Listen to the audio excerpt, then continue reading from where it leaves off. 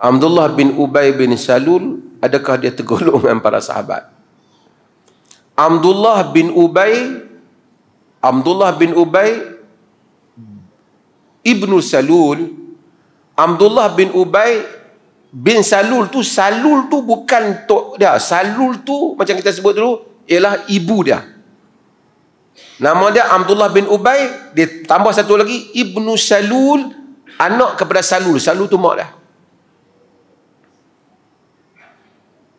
Abdullah bin Ubay tu.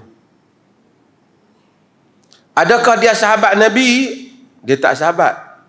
Sebab apa? Sahabat tu syarat dia, tarif dia. Man laqiya an-nabiy sallallahu alaihi wasallam wa amana bihi wa mata 'ala al-iman. Kata Allah uh, ulama-ulama hadis. Sesiapa yang berjumpa dengan Nabi, beriman dengan Nabi dan mati di atas iman. Kalau jumpa, Abu Jahal Abu Lahab jumpa. Jumpa saja tak badan. Jumpa saja. Tapi siapa yang berjumpa dan beriman. Tak tengok pun tak apa. Yang penting jumpa. Macam mana tu? Ada sahabat yang buta. Dia tak? Jumpa Nabi tak? Jumpa. Tengok tak? Tak tengok.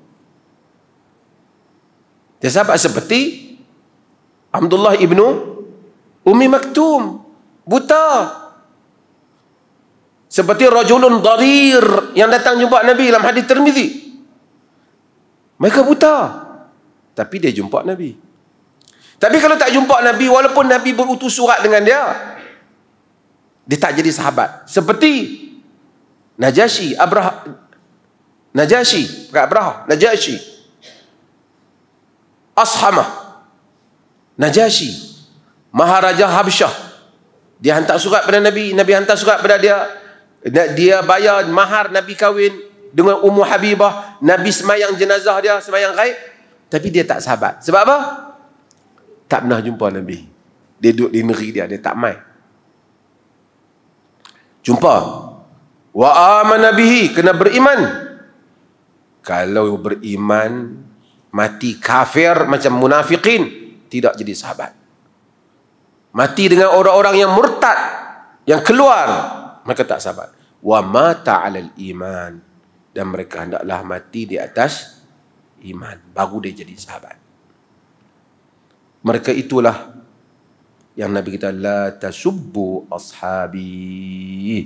Jangan kamu maki sahabat-sahabat aku